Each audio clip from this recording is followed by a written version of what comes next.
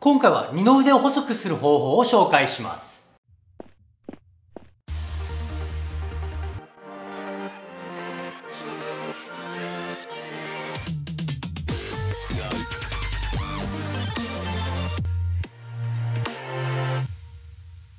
はい、皆さんこんにちは、タートルです。今回ですね、二の腕を細くする方法ということで、できればですね、1キロまたは0.5ぐらいの重りがあればですね、ベストです。でこの重りを使って二の腕を細くする方法なんですけども、一般的にですね、重たいものを持って、こうやってね、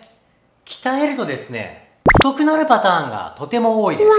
一般的に鍛えるイコール細くなるっていうイメージを持ってる人多いと思いますけども、例えば10回しかできなかったことが楽になってきて、じゃあ楽になったから20回に増やそうって回数とか重さを増やすとですね、それに適応したサイズになってきますんで、まあ、基本的に鍛えれば細くなるっていうイメージは持たないようにしてください。で、今回紹介するのはこれ1キロでやっていきます。うつ伏せになった状態で気をつけします。小指を上に向けてですね、この状態で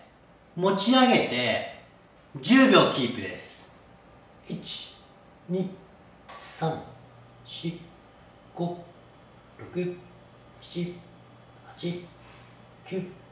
10 OK です。今度は上を向いてですね。今度は前の二の腕を細くする方法です。手を伸ばして肩から一直線上に伸ばします。ここで床につくかなつかないかなぐらいの位置でですね。できるだけ遠くに手を伸ばすイメージです。でしっかり手の前側をしっかり伸ばしてください。これで10秒キープです。1 2 3 4 5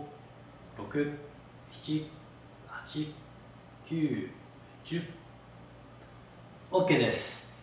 今度はゆっくり動かして床ギリギリでゆっくり戻します。これを10回いきます。2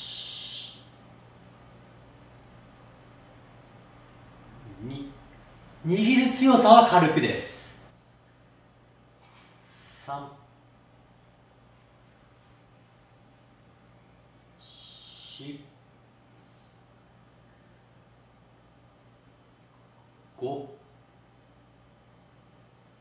腕がプルプルする方がしっかりできてます。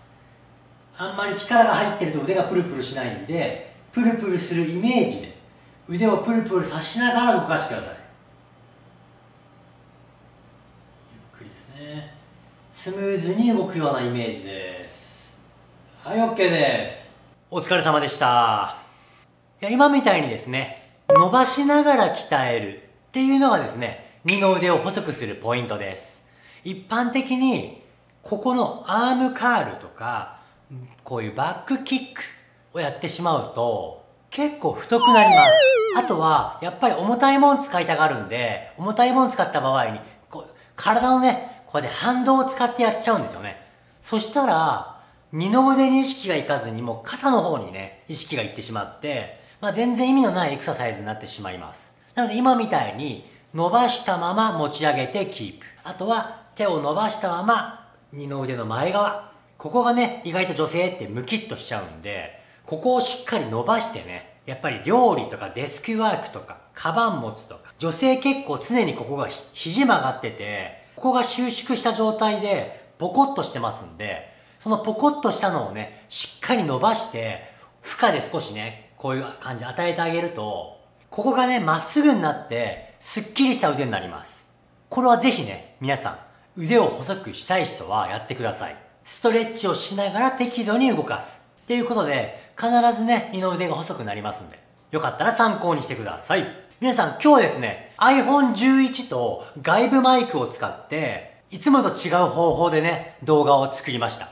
音とかね、画質とかどうでしょうかまあ、今までよりね、良かったよって方はよかったらね、コメントで言ってもらえると参考になります。ちょっと視野もね、なんか、ビデオカメラより広いのかなっていう感じがします。なので、こういった環境で、まあ、次からアップしていこうと思いますんで、これからもよろしくお願いします。チャンネル登録してない方はね、よかったら説明欄にありますんで、登録してもらえるとありがたいです。皆さん、今日もご視聴ありがとうございました。